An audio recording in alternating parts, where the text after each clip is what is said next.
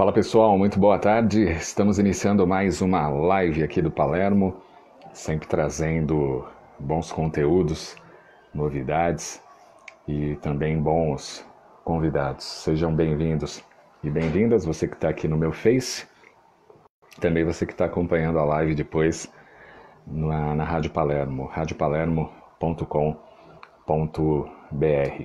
Entra lá, dá uma ouvida na rádio, está bem bacana. Você vai poder conferir muitos conteúdos bacanas que falam de empreendedorismo, que fala também de negócios, fala de pandemia. Você vai poder curtir vários profissionais que estão aí participando comigo deste projeto Rádio Palermo Desperte o Melhor, que é em você, onde o nosso foco é Guarulhos, zona norte de São Paulo, também a zona leste e a região do Alto Tietê. Inclusive, essa semana entraram três novos é, apoiadores da nossa rádio, né, que estão patrocinando a nossa programação, que é a Fire System. É só entrar no nosso site, você vai ver lá mais informações sobre esta empresa, que faz um trabalho muito bacana de prevenção né, a incêndio nas empresas, comércio, muito bacana. Entra lá e, e vê na seção de notícias, tem informações lá sobre a Fire System. Também é, tivemos a Mari Cavalaro, que está entrando também na nossa rádio, com barra de Axis, né? então está sendo bem bacana curtir aí o pessoal aderindo à Rádio Palermo. E é uma forma que você tem de anunciar o seu produto e anunciar é, tudo aquilo que você faz, que você produz, né? Somente agora em época de pandemia, todo mundo utilizando as redes sociais, você vai utilizar isso de uma forma super profissional. Roberto Canaani está aqui com a gente. Um grande abraço a você, Roberto. Daqui a pouquinho a gente vai conectar com a Ana Cláudia Facim. Vamos comentar as notícias da semana, as últimas notícias aqui da cidade de Guarulhos e também é, São Paulo e Brasil. Daqui a pouquinho a gente conecta com a Ana Cláudia para conversarmos aí mais a respeito destas notícias. A gente vai falar de questão de homicídios, né, em relação às pessoas negras. Vamos falar de desmatamento. Vamos falar de queimadas no Pantanal. Os guardiões do Crivella, né, que a gente viu aí é, recentemente. E também vamos é, falar das eleições em Guarulhos. Né? E fica já uma pergunta aqui para quem está assistindo: o que você está achando da administração do prefeito Gucci, que vai tentar a reeleição? Então a gente vai conversar sobre isso também, vou querer saber a opinião da Ana e a análise dela a respeito das eleições aqui na cidade de Guarulhos. E também ela vai falar sobre a medida protetiva para os animais Inicialmente a nossa live era lá no Instagram, não sei por que não está entrando a minha live no Instagram, então a gente resolveu mudar aí o plano B aqui para o Facebook, já chamando a, a Ana Cláudia para a gente começar o nosso bate-papo aqui um de live, né? Então a gente vai curtir e rever aí Ana Cláudia Facinho. Oi, Ana, tudo e bom? Aí? Tudo, Como deu vai? certo? É, não sei por que não está entrando o Insta. Pena, né? Se bem que aqui também é legal, mas é... o Insta também, eu gosto né? mais do, do Insta. É, eu também. É, e aí, como é, é que você, tá? Me, Tudo você tá me vendo bem? Tudo, graças a agora, Deus, a mais perfe- perfeita. Ah, bacana. Oi? E os pais, como é que estão? Ah, estão bem, né? A gente tem que tentar. Peraí. Não, quase que eu saí daqui, porque eu tô vendo um monte de coisa no- na minha frente, porque eu não tô acostumada a fazer no Face, né? Enfim, eles estão bem, Cláudia. A gente tem que tentar proteger ao máximo os nossos pais, né? Os idosos. E eu tenho feito isso junto com os meus irmãos. Espero que até agora deu certo, né? Na, na sua família teve algum caso de, de Covid? Na minha teve um tio que ficou até na UTI, mas conseguiu se recuperar. Sério, na minha família não. uh, só um sobrinho agora, né? Na verdade, ele é um sobrinho do Ricardo. E tem 20 anos e testou positivo para o Covid, mas assim, ninguém mais da família, sabe? E, talvez o jovem ele tá mais exposto, né? Porque talvez corre menos risco. E aí ele acabou pegando, tanto é que não ficou tranquilo, não, não precisou ser hospitalizado, né? Tenho outros conhecidos também que pegaram, mas ficaram assim, só com alguns pequenos sintomas e tudo bem, né? Vida que segue. Isso aí. É, parece que acabou a pandemia, né? Você tem visto isso aí também para os seus lados? Muita gente na rua, saindo para passear normalmente, aí, uns até sem máscara, né? É, para alguns parece é, que a, aquela... o pior já passou, né? É, é a normose, né? Que, que a gente fala, né? Tudo, tudo no mundo, em princípio, impacta, depois se torna comum e vem a normose, né? Como se os números de infectados e mortos fossem normais, você já não fica tão, vamos dizer, tão amedrontado com isso e vai flexibilizando, né? É, com certeza, o fato do comércio ter reaberto, algumas coisas terem reaberto, isso faz com que as pessoas realmente apareçam um pouco mais nas ruas e se aglomerem um pouco mais. É, aí eu acho que é por conta e risco de cada um, sabe? É, nós, nós acabamos percebendo, eu estava até conversando com a minha irmã e com meu cunhado, no começo a gente tinha a sensação de que a gente ia entrar no elevador e ia pegar a Covid essa era a sensação, que a gente não podia colocar o pé na rua. Talvez hoje nós percebemos que não é tão assim, é, vamos dizer, não é tão drástico nesse sentido. Se a gente sair com máscara, tá sempre lavando as mãos, não tendo contato físico com as pessoas, respeitando o distanciamento, né? Isso para um trabalho, para ir no mercado, para para resolver coisas, né? Tem muitas pessoas que precisam ir para cartório, as coisas elas precisam continuar nesse sentido, né? Não deu para parar algumas coisas. Então e deu certo, né? Manter essas normas assim, elas estão dando certo, porque se não tivesse dado certo, metade da população acho que já já teria adoecido, né? Sim. É, então eu acredito que tudo que eu tenho feito está dando certo, porque até agora, graças a Deus, não aconteceu nada, né? Por isso aí, né? Vamos continuar se cuidando. Bom, a gente teve, tem a proposta aí de falar de algumas notícias que acabaram é, repercutindo um pouco mais na, na grande mídia, e aí da nossa visão, as nossas cutucadas e ou as nossas discordâncias a, respeito do que está sendo comentado por aí. Vou deixar você abrir aí com a sua com as notícias que você separou aí, que você achou interessante.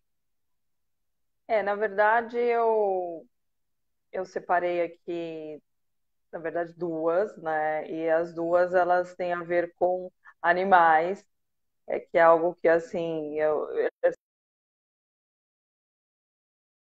aos bichos, aos meus bichos e aos bichos em geral, né? Então, uma notícia da semana que eu achei muito bonita, muito legal, é com relação ao zoológico de Guarulhos, né? Por quê? Porque uma que eu sempre fui fã do zoológico de Guarulhos, o meu afilhado, meus sobrinhos sempre amaram visitar o zoológico de Guarulhos, porque ele é um zoológico que ele não é tão grande, você não paga para entrar, você não paga para estacionar, né? Tem uma área bem bacana para quem quiser fazer um, um piquenique, etc. Não que isso seja bacana neste momento, claro, estou falando fora pandemia. Então ele reabriu. Ele reabriu agora, dia 1 é, é ao ar livre, né? Ele não tem. Uh, as áreas do parquinho e o museu, os bebedouros estão fechados, né? Então, quem for visitar tem que levar alguma coisa para beber, caso sinta sede. E só no máximo 200 pessoas por vez. Eu achei muito legal que um artista guarulhense, que é o. Ai, deixa eu pegar o nome dele aqui, eu anotei. Eu Elvis Mourão. Ele fez uh, umas obras de grafitagem muito lindas no zoológico. Eu acho que o zoológico merecia essa, essa arte.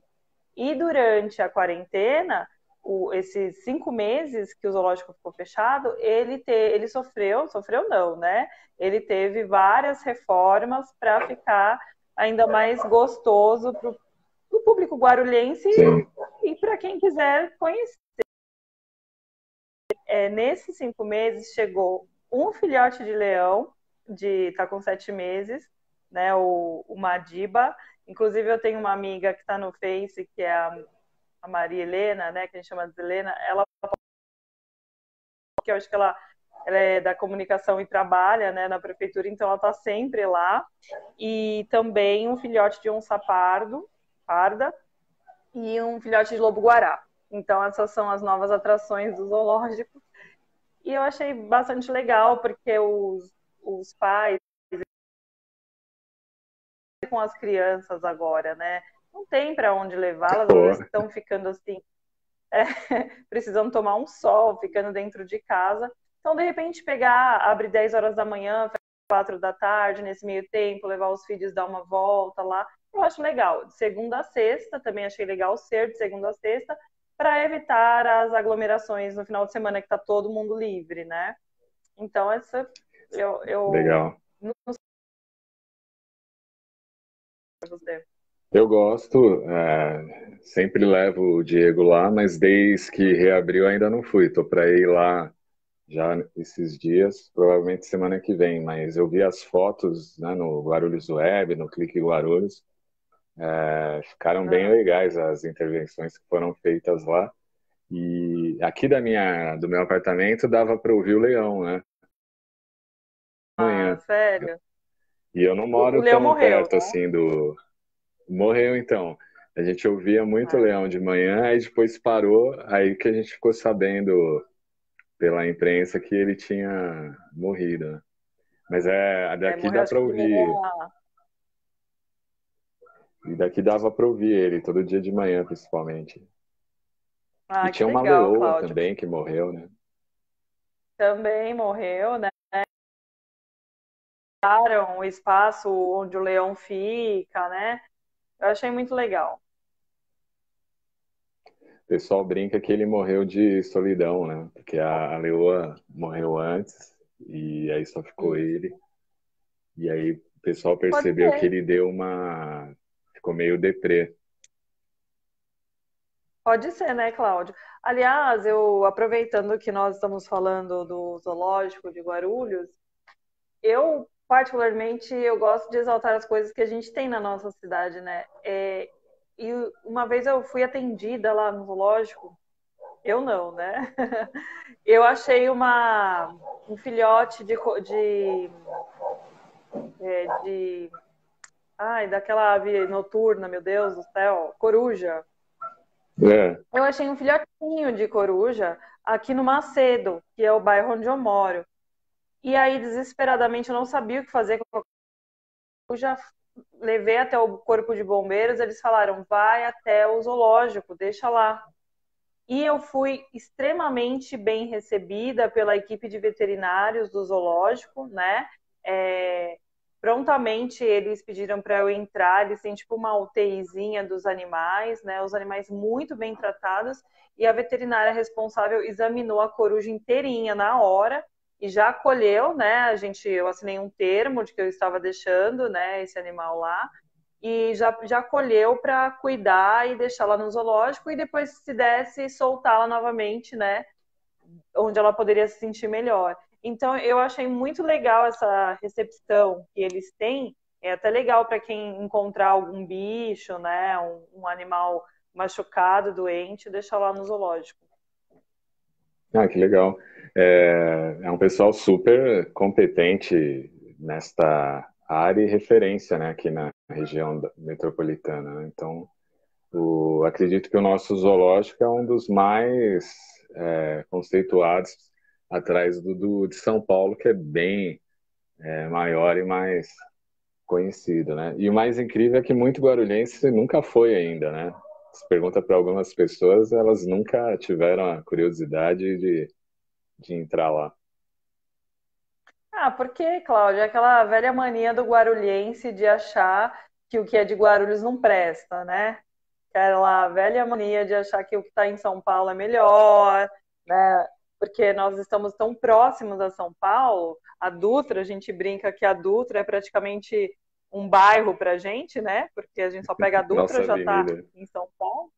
É, nossa avenida. Então, muitos têm, ah, para que, que eu vou no de, São, de Guarulhos se eu posso estar tá no de São Paulo, que é muito mais, mais é, amplo, tem muito mais espécies? Ok, realmente tem. E é, e é um passeio extremamente cansativo, né? É, então fica o convite para quem nunca foi, dá uma passada lá, é, conhece os animais. É, é, quando a gente volta né, no, no, no, zoológico, é como se os bichos meio que fossem, no, é, é, fossem nossos, né? Porque a gente acaba pegando um pouquinho de carinho por eles. Eu fiquei muito triste quando fiquei sabendo da, dos leões, né, que morreram. E a gente vibra quando chega um bicho novo, como por exemplo o filhotinho de lobo-guará, o novo leãozinho, né? Uhum. E etc. É claro que zoológico, né, Cláudia? Eu apresentei tantos anos lá o Programação Planeta e tem esse debate muito grande com relação a zoológico ser legal ou não, porque os bichos estão lá em cativeiro.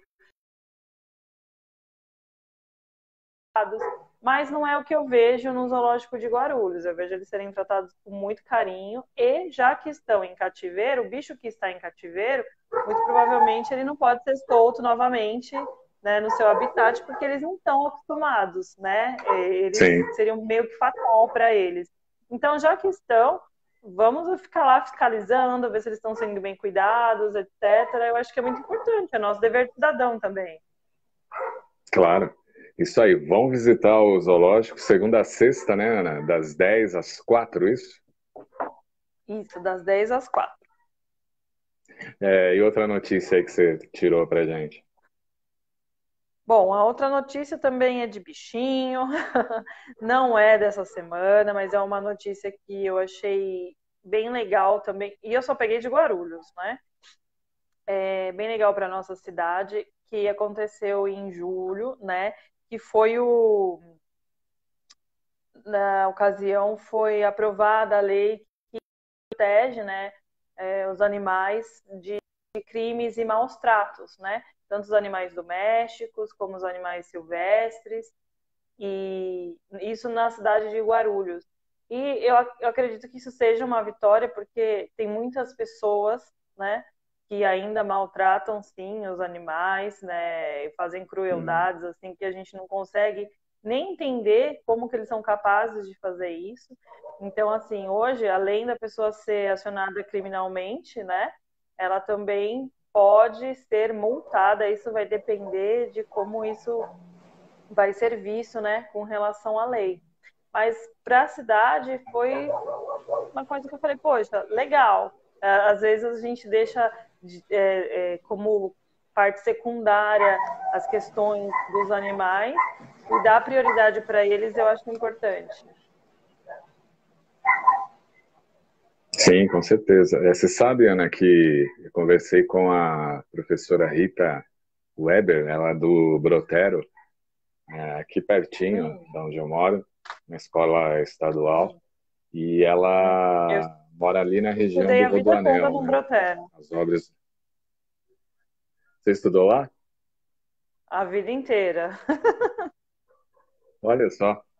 E, é. e ela mora na região do Cabo Sul, que é a região onde está passando o Rodoanel, né, que liga a, o trecho da Dutra, Fernão Dias e rodovia dos Bandeirantes, e esse trecho passa ali também no entorno do aeroporto.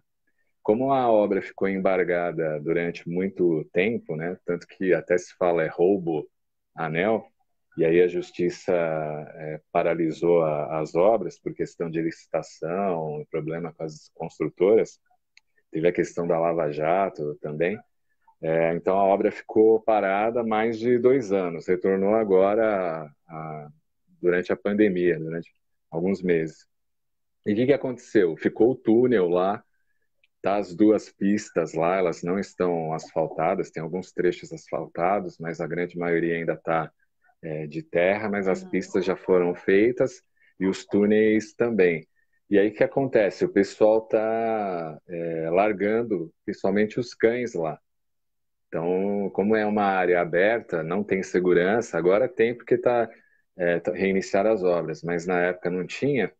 Então, o que as pessoas faziam? Iam lá, deixavam os cães, principalmente no período da noite, e ela, também muito sensível à causa é, animal, ela acabou indo lá todo dia é, dando ração ou alimento a esses cães. Tem mais de, de 10 cães, já chegou a quase é, 20.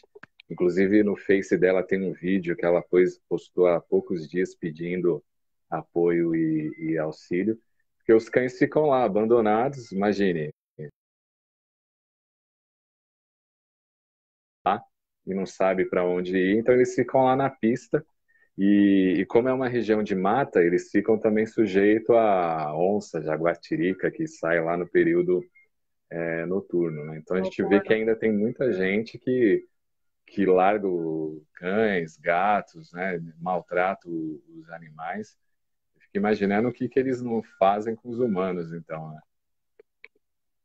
É, então, quem maltrata animal maltrata a gente, né? É, é a conclusão que a gente sempre chega, porque quem tem a capacidade de fazer crueldade com um bicho tem também a capacidade de fazer crueldade com o ser humano, porque o coração é de pedra, né? E eu vi essa entrevista que você fez com, com essa moça, você fez uma live no Instagram, e eu achei muito legal o trabalho dela, Isso. né? Eu acho louvável, eu sei que deve ser muito difícil, até porque ela também deve receber muitas críticas, né? Por dizer que está ali alimentando eles ficam lá, né, Cláudio? Ela tá alimentando eles lá, né? Ela tá usando lá. a área, não tá? Lá. Então. Ela vai todo é dia. É ousado. É ousado, mas ela ela é a causa dela e é muito bonito, muito bonito. E daí é, eu só não me lembro. É, aí ela coloca os animais para depois quem quiser fazer adoção. Como que é isso? Isso, é, ela, os que estão machucados, ela cuida, né? Ela tem lá parceria com os veterinários. Depois ela coloca na fanpage dela à disposição para o pessoal a, adotar, né? Mas nem todos conseguem ser adotados porque tem aqueles que são mais velhos, né? Grandes, então o pessoal não curte muito, prefere os pequenininhos. Né? Eles Mas eles ficam lá. lá na região do, na pista. Estão lá ainda. Então, cadê? É legal para quem quiser ir lá conhecer e ver, de repente voltar com um bicho, com um cachorrinho, é interessante. É, agora, nessa questão dos animais, eu tenho visto seus posts e você realmente é, ficou muito próxima deles. E, e, hoje, lá na rádio, a Eliette gravou uma entrevista com uma veterinária falando dessa relação pets e tutores durante a pandemia. E a veterinária estava falando essa questão, porque os pets não estavam acostumados a ter os seus tutores o dia todo, né? Durante muito tempo, né? E nessa pandemia, eles, os tutores estão muito próximos diariamente agora em casa é, com eles. E aí ela estava já preparando os tutores a lidar quando tudo retornar ao normal para que os pets também não sofram esse, é, vamos dizer assim, esse desmame, né? Antes estava é, é, naquela vida normal, esse trauma, né? Achei interessante isso também. É, eu acho engraçado porque assim, né? É, quando começou a quarentena, eu acho que os meus bichos falaram assim: Nossa, o que está acontecendo? Que é, a casa tá sempre com gente, né? e eles ficaram extremamente mais dóceis, mais brincalhões, mais mimados, é como criança, né? É claro. E curiosidade, eu adotei uma gata já adulta lá no Pets. Aliás, o Pets é um lugar muito legal. É, e antigamente eles vendiam, né, animais, e hoje eles só expõem para adoção. Eu achei um, muito bonito o que eles fizeram, né, de deixar de lado a questão comercial. Então, a zoonose de Guarulhos sempre leva os animais lá para serem adotados. e geralmente dá muito certo, né? Então, às vezes, eu vou lá só para eu ver os bichos que estão lá por carinho mesmo, né? Deixa eu ver quais são os bichos que estão para adoção. E eu peguei a Catu, que é uma gata, que era uma gata, uma gata adulta, e na ocasião, um biólogo lá do Pets falou assim para mim: olha, ela é meio agressiva e tal, né? E ela já estava 15 dias lá e, e não tinha sido adotada. E aí eu peguei e voltei no outro dia, que eu falei, eu vou pegá-la, né? Porque eu foi assim, eu criei uma empatia com ela. Quando eu voltei, ela tinha acabado de voltar para a zoonose, porque eles ficam 15 dias e voltam, se não são adotados, né? E eu fiz ele ligar para a zoonose e pedir para voltar, né? Ou se eu poderia ir até a zoonose para pegá-la. E peguei, de fato, levei várias mordidas dela, assim, quando eu fui tentar pegá-la, né, para transportar, e ela morou na, morou na estrutura do meu sofá durante alguns meses, assim, ela só saía à noite para comer, assim, muito, é, vamos dizer assim, amedrontada, a gente não sabe onde que ela viveu antes, né? E com a pandemia, uhum. comigo aqui todo dia, toda hora, tal. Ela hoje eu deito na minha cama para dormir, ela vem e deita em cima de mim, assim, sabe? Então para você ver como o, o animal, né, nesse caso específico o gato, ele, ele tem essa relação de amor com a gente, que a gente às vezes será que tem, será que não tem, mas eles têm, né? Sim, com certeza. Mais algum destaque aí, Ana? A gente conversou aqui, né? É, a gente pode falar da, da...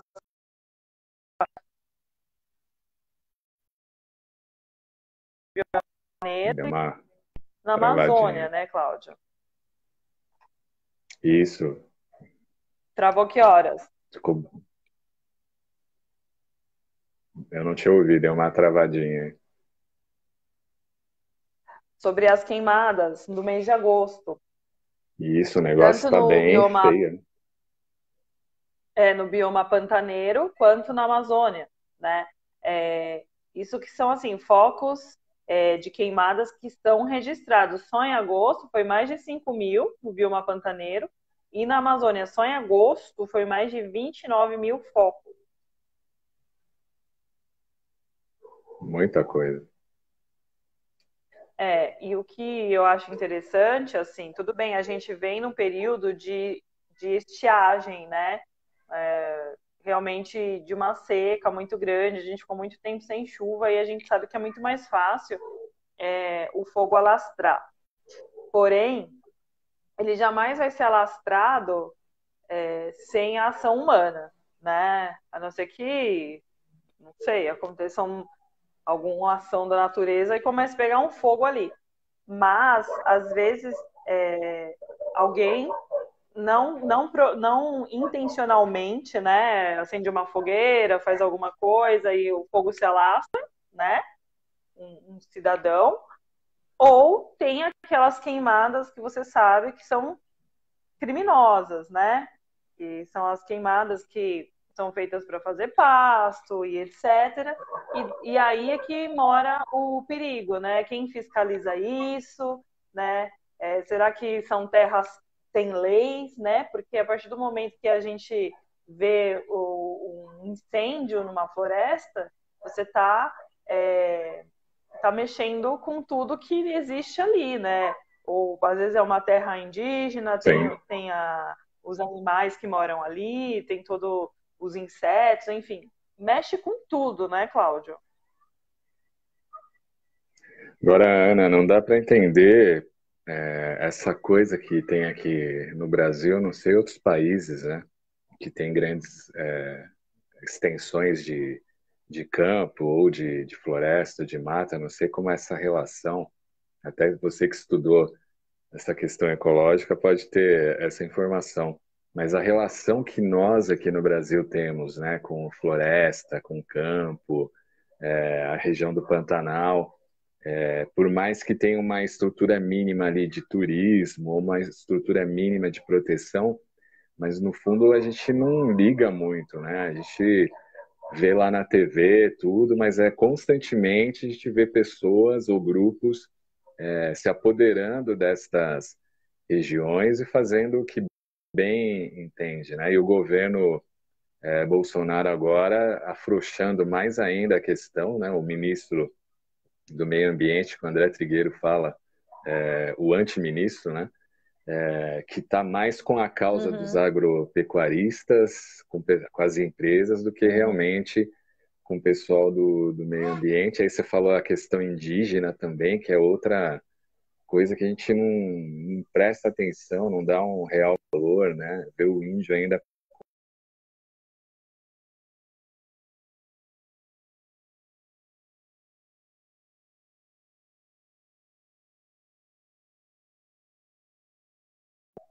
É, eu acho que eh, o Brasil ele é tão grande, ele é tão gigantesco que a gente perde um pouco essa noção é, das regiões, né? Acho que quem está numa região mais afastada, que não está vivendo, né, na, naquela região mais, é, vamos dizer, afetada, parece que não, não é com a gente, então tá, não está me afetando e tal, e tudo bem, vamos seguir, né?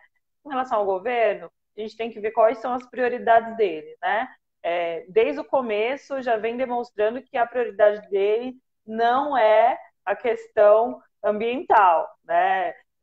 Na, na época que ele foi dividir lá os ministérios, ele, ele meio que deixou de lado o Ministério do Meio Ambiente, né? Enfim, eu lembro disso, que já foi uma coisa que meio que chocou a gente.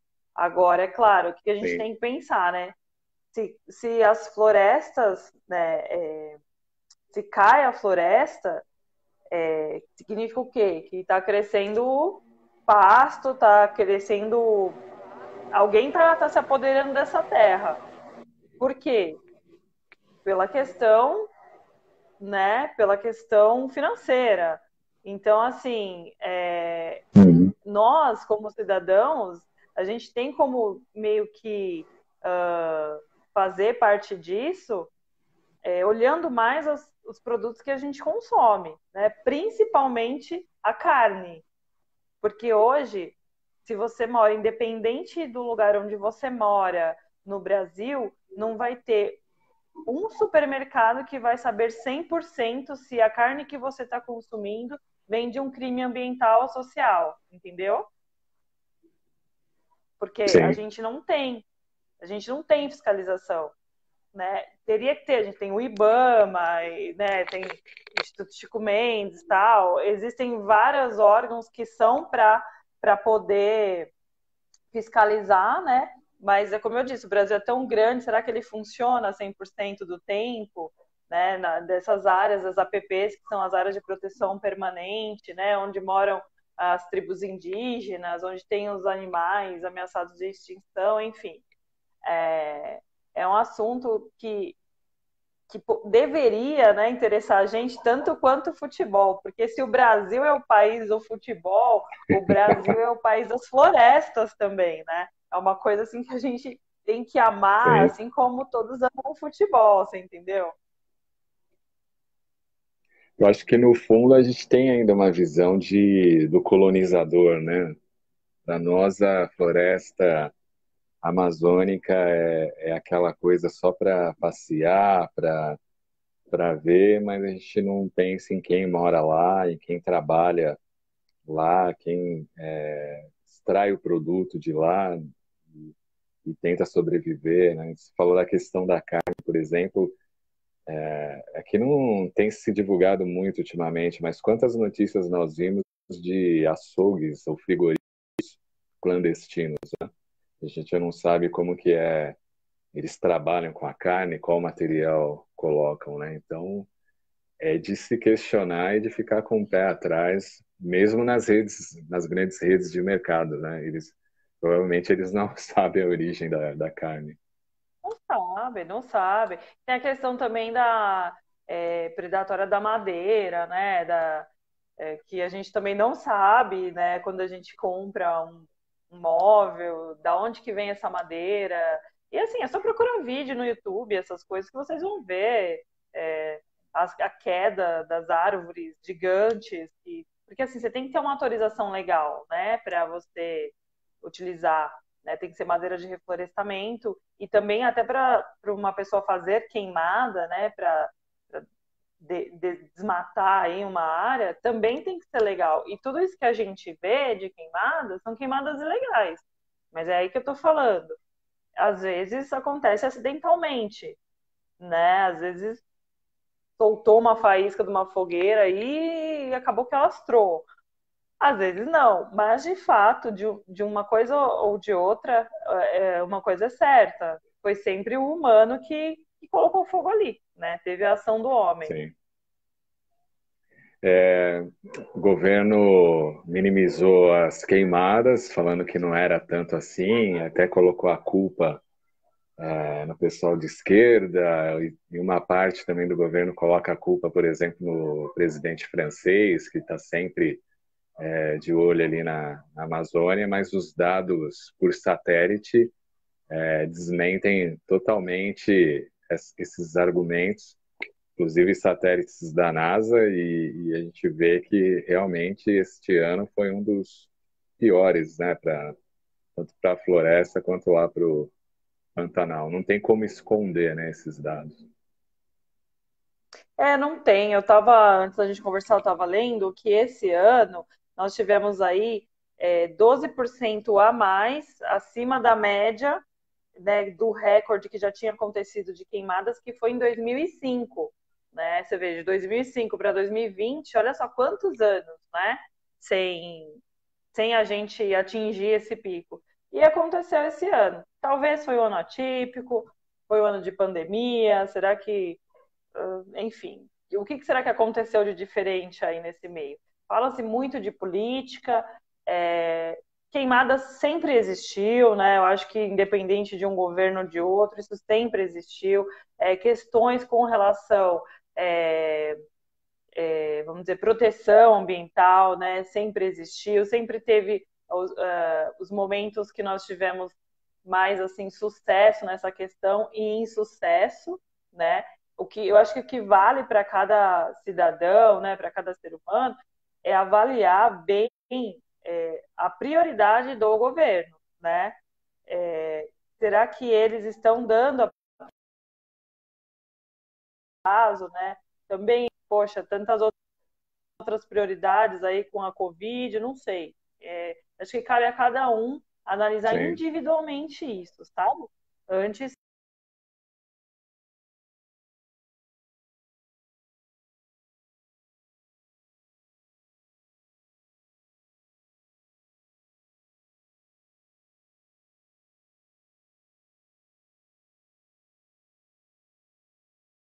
vamos eleger novamente. Pessoal que está na rádio, né, não está acompanhando a, a, live, a gente está conversando com a Ana Cláudia Facim. Mulher é palestrante, é jornalista, é empresária.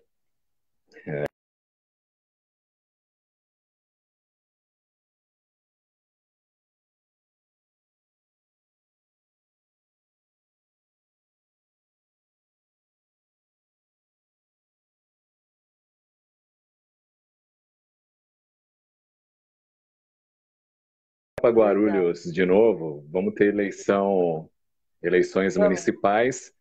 Aqui em Guarulhos, os, os pré-candidatos já estão aí é, anunciando no Face, no Insta, já estão aí saindo na, na mídia, por mais que ainda não possa ter campanha, né? ainda não está aberto oficialmente, mas como pré-candidato eles já podem é, se manifestar e, e mostrar aí sua pré-candidatura.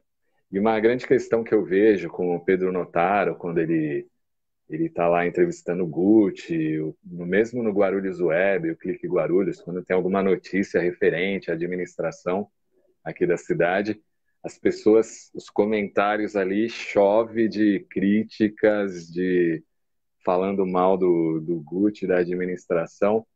É, queria saber de você como é que você tem visto a administração do Gucci, se ele realmente é, é um forte aí candidato à reeleição ou se você vê outros nomes que possam aí é, chegar na frente dele aí lá no bom clima. Olha, Cláudio, é complicado a gente falar disso é, Guarulhos, apesar de ser uma cidade gigantesca, ela é uma província, né? E hoje, se eu fosse falar, ah, eu tenho um candidato aí para as eleições, uma que está super estranho, as eleições já estão praticamente aí, e com essa época de pandemia, tá, acho que todo mundo Sim. esqueceu, né? Que, que a gente vai ter que votar, então acho que ninguém nem, nem tá pensando nisso, parece, né? E foi até uma discussão, assim, que eu tive com dois amigos, aleatoriamente, um em tempos diferentes, né? E um, assim, nosso achismo, né?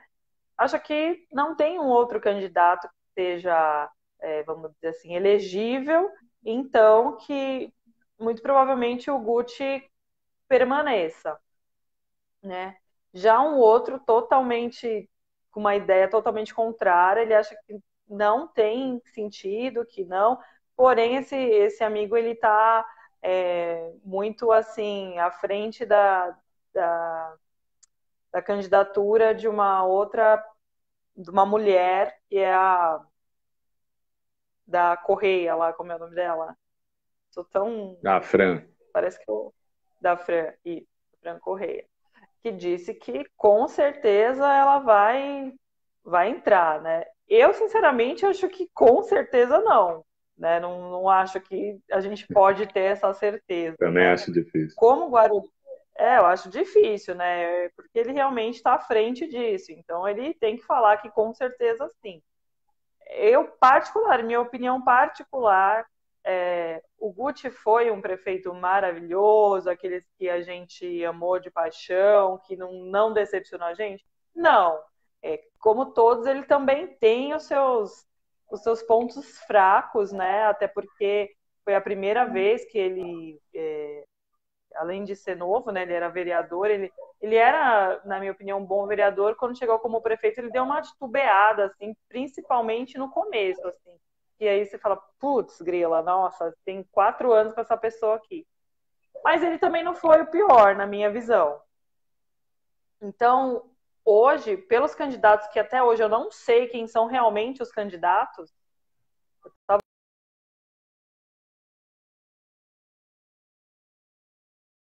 você já sabe se todos estão aí. A gente tem o... ó, vai ser fulano, ciclano, beltrano, você sabe? Sim.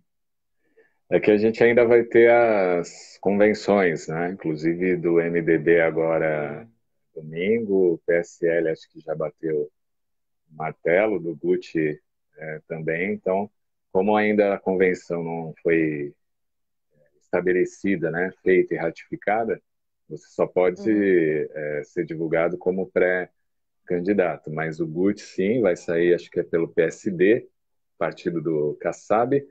Tem o Eloy, né, que fizeram um acordo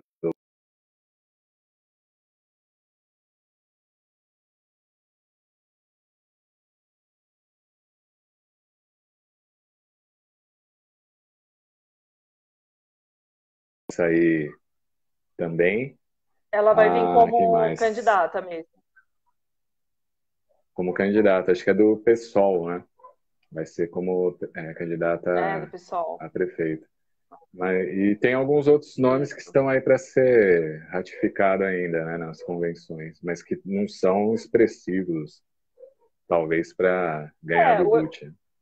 E a Fran, né? o Eloy, ele é um é, Fran. O Eloy é um nome forte também, em Guarulhos, apesar que ele já teve, assim, inúmeras é, gestões, né? O Eloy já é, vamos dizer assim, um, um, candidato antigo, né? Um político antigo em Guarulhos. Por isso eu creio que ele seja forte também, né? Agora vamos esperar aí, ver como vai ser a, a, a propaganda eleitoral, né? É, na cidade, daqui a pouco começa a ir propaganda em rádio, TV, né, Cláudia? Aí você que está em rádio, você, você deve Isso. saber a data certinho. Vamos esperar então, vamos ver as propostas e cada um torce para aquele que votar, né? E para pré-vereador, você já tem um candidato ainda não? Tem alguém não, conhecido? Não tenho. Não, não tenho. Eu, eu gosto, assim, Cláudio, é, de uns anos para cá, eu gosto de, por exemplo, se eu vejo um candidato que eu falo, pô, esse cara ou essa mulher é, é bacana, deixa eu pesquisar aqui quais são os projetos da pessoa, ou se ela já teve alguma gestão, né, como vereador ou como prefeito, deixa eu ver o que, que, o que, que aconteceu de bom, né, é, o que a pessoa de fato concretizou. Aí eu, eu tomo a minha decisão. E eu acho que todo mundo deveria fazer isso, na verdade, né? É claro que tem as pessoas que são mais envolvidas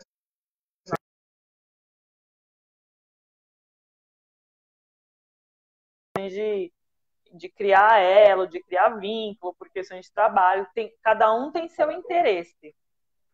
Eu, como meu único interesse é viver numa cidade bacana, então eu procuro ver por esse lado. Que eu acho que todo mundo deveria fazer isso também, né? Não falar assim, ah, chega a, a o parente fala assim, ó, oh, volta nesse aqui, toma o papelzinho, né? Porque às vezes vereador, as pessoas não dão tanta importância, né? A gente não tem, assim, às vezes, não tem a mesma visibilidade que um prefeito. Então, tem gente que nem lembra, né? É, a pessoa fala, nem sei para quem eu vou votar para vereador. Quem você vai votar, fulano? Ah, vou votar em ciclano. Ah, daí o número dele que eu vou votar nele também. E é assim que funciona. Verdade. Bom, mudando ainda na política, mas mudando lá para o Rio de Janeiro, você como da área de comunicação, como é que viu lá os guardiões do Crivella, que a Rede Globo acabou mostrando essa rede que tinha lá de pessoas pagas com dinheiro público que ficavam quase que o dia todo na frente dos principais hospitais, principais no, no quesito de problemas, né? que sempre tem problemas e geralmente a população reclamava para a imprensa e quando iam alguém lá gravar ou fazer chamadas ao vivo, esses guardiões entravam lá no meio da, da transmissão para atrapalhar o trabalho dos jornalistas, inclusive em grupos de WhatsApp, né, onde o próprio prefeito está está em um desses grupos e agora está correndo lá uma abertura aí de sindicância até de CPI, de CPI não, de afastamento do prefeito e um possível impeachment lá na Câmara do Rio de Janeiro. Como é que você vê? O Rio que é tão... vários governadores né, estão presos, o atual agora, o Witzel, que tinha como lema a questão da combate à corrupção, está afastado, o vice que assumiu também está com um monte de, de processos e problemas. É, e agora, né, o prefeito que vem de uma religião, que vem de uma igreja, é, de repente também fazendo esse tipo de ação, não só contra a população, mas também contra quem trabalha né, na área da comunicação. Como é que você viu?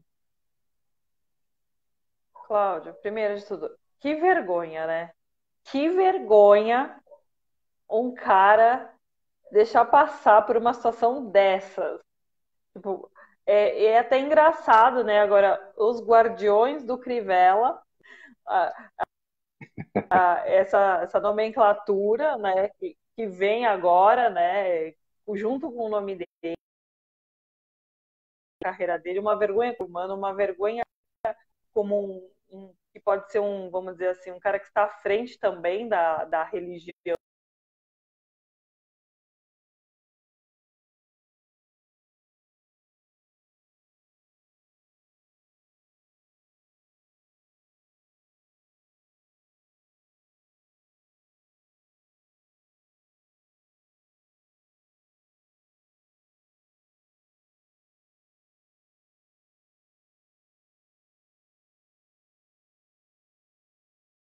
Globo estava contando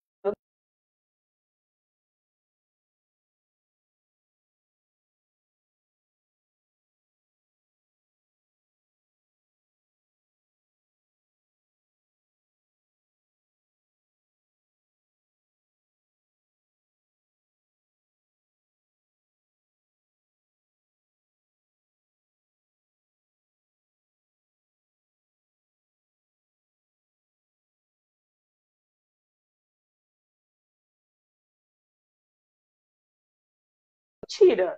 Mentira, ela, ela é detectada, você entende? Assim, se, se os hospitais eles estão ótimos, ele não tem problema nenhum, se a saúde está 10, não precisa ficar contestando a mentira, você concorda? Uhum. Tá na cara. Se, se, o hospital funciona, tá na cara, a população tá vendo, tá, entendeu? A população é, é a maior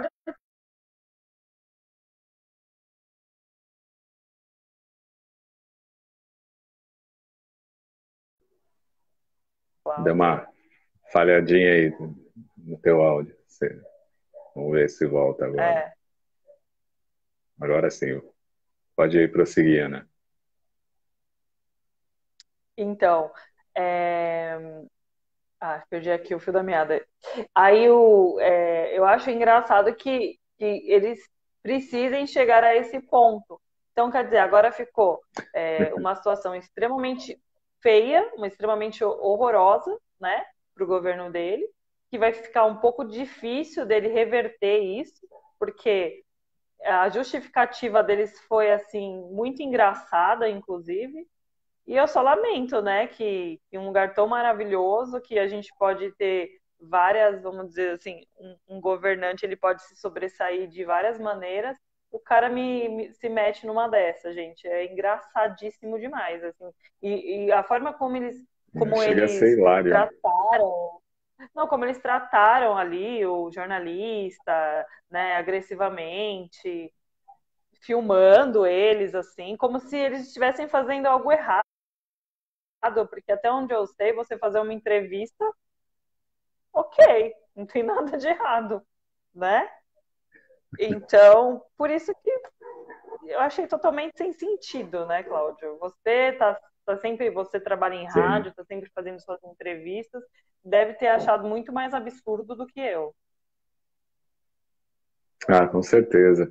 E, eu até falei para para Angélica aqui para os meus filhos, é, eu admiro a paciência dos repórteres, né? Porque provavelmente se eu tivesse na mesma pele eu já iria é, revidar, porque eles são de uma paciência de ouvir a pessoa lá te xingar, te, te atrapalhar, querer pegar no microfone, pôr a mão na frente da câmera. É, e eles são muito educados, têm uma paciência que, que eu não teria.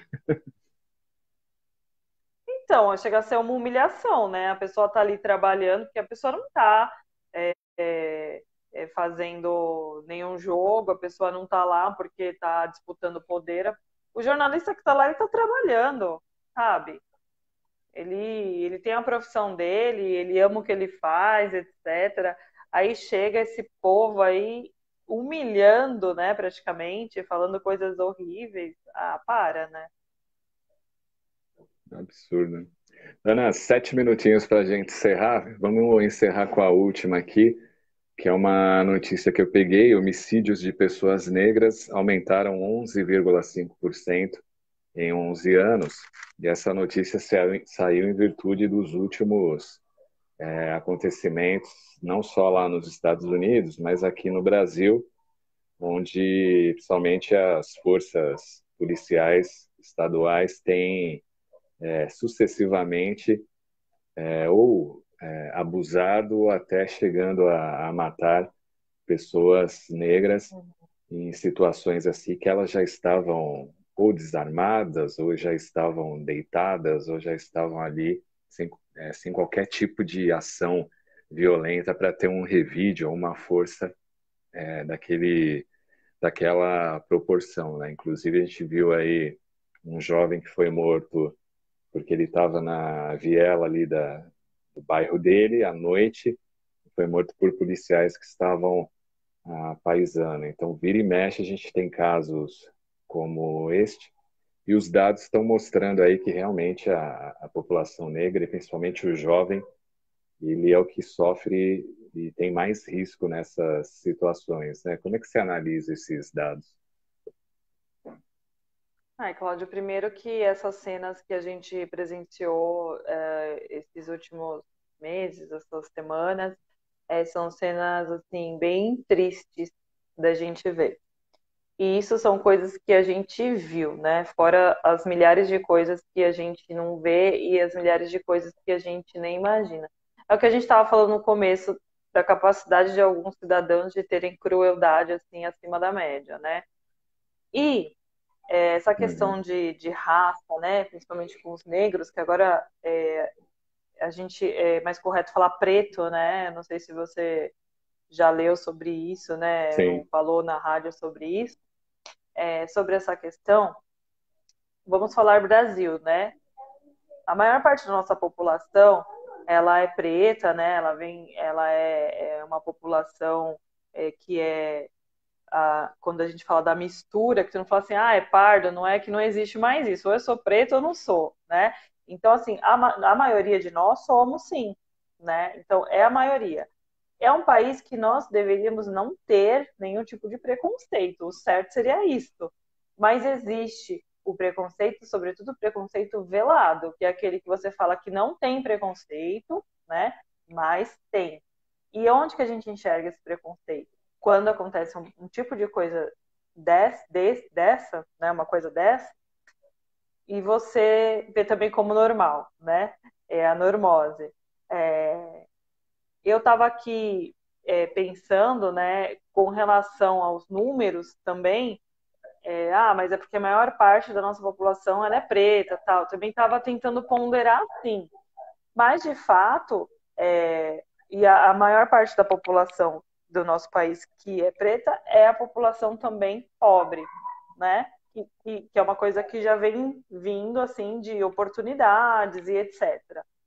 Então, é, isso mostra o que, por exemplo, é, eu estava lendo que em Alagoas, por exemplo, olha só, Cláudia, que, que estava é. nessa notícia aí que a gente estava falando, a cada é, homicídio de uma pessoa não negra, né, como estavam dizendo lá, não negra, a cada uma pessoa não negra morta, 17 pessoas negras morrem. Né? Isso em Alagoas. E na Paraíba também, para cada uma pessoa não negra, nove pessoas negras morreram, né? Por que, isso acontece? É, é por causa do preconceito velado, que daí você tá lá na rua, os policiais, ou seja lá quem, uh, tem a agressão, né? Você vê um, um negro, de repente acha que é bandido, acha que está à toa, né? E as coisas acontecem. Infelizmente, eu creio que tem assim bastante de, de racismo em tudo isso que esteja acontecendo. E aí é quando a gente para e começa a analisar algumas questões, né? É, sobretudo questões sociais, porque é, as pessoas falam que to todos temos as mesmas oportunidades algumas pessoas, ah, mas todo mundo tem a mesma oportunidade, né? Eu vim da pobreza, hoje eu sou rico, por exemplo, né? E eu não tinha oportunidade, gente. Peraí, a gente está falando de uma, às vezes, oportunidade, falta de oportunidade de uma pessoa que vem da extrema pobreza. A gente não está falando de ser pobre como nós aqui. Nós somos pobres, mas a gente está, a gente estuda, a gente vive, a gente compra as nossas coisas e, Passeia. e a gente está falando, passeia, não é disso que a gente está falando, a gente está falando de outras oportunidades, né? E aí, linkado a isso também, da morte da, das mulheres, que é, de uns anos para cá, o número de morte de mulheres brancas caiu, porém a de mulher negra aumentou. Uhum. As mortes, uh, tanto, tanto assim, é, nas ruas, como também feminicídio. Por que isso? Eu não sei te responder, mas é uma pergunta que fica no ar, né? Ficar para pesquisa, né?